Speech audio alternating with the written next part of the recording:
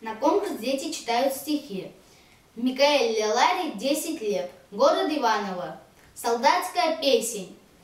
Федор Николаевич Глинка.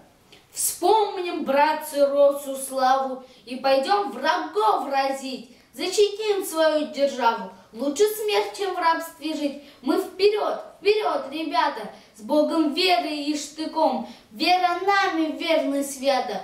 Победим или умрем под смоленскими степями. Здесь Россия у дверей. Стать питься нам с рогами. Не пропустим злых зверей. Враг строптивый мечет громы, храма Божьих не щадит.